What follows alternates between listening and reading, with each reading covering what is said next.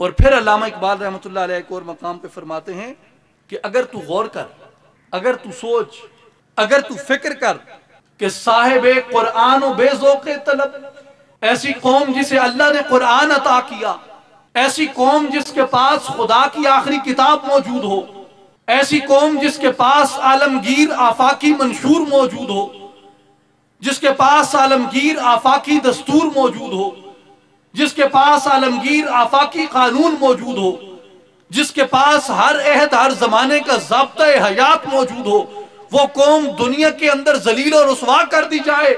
العجب، ثم العجب ثم العجب۔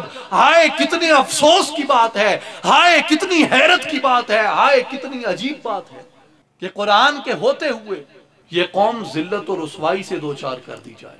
قرآن کے ہوتے ہوئے یہ قوم تباہی و بربادی کا شکار ہو جائے۔ العجب، ثم العجب ثم العجب۔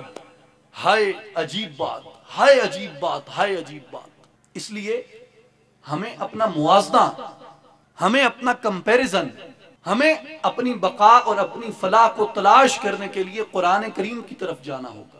اور ہمیں اپنے معاشرے کا کمپیریزن بلاخر قرآن سے آ کے کرنا ہے کہ اگر ہم مسلمان ہونے کا دعویٰ کرتے ہیں مسلمان ہونے کی اولین بنیاد کیا ہے؟ مسلمان ہونے کی دلیل اور نشانی کیا ہے؟ مسلمان وہ ہے جس کا سینہ راز قرآن کا امین ہو۔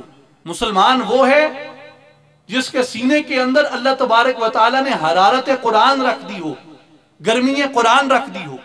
اور وہ قرآن کو اپنے لیے ظاہری اور باطنی قانون کے طور پہ سمجھے، اسے ایک ضابطہ عمل کے طور پہ سمجھے۔ لیکن آج جب ہم اپنے آپ کو بطور اسلامی معاشرہ ڈکلیئر کرتے ہیں، تو پھر ہمیں یہاں پہ یہ کمپیریزن کرنا ہوگا کہ کیا قرآن سے ہمارا رشتہ یا ہمارا تعلق واقعتاً حقیقی نوعیت کا رہ گیا ہے۔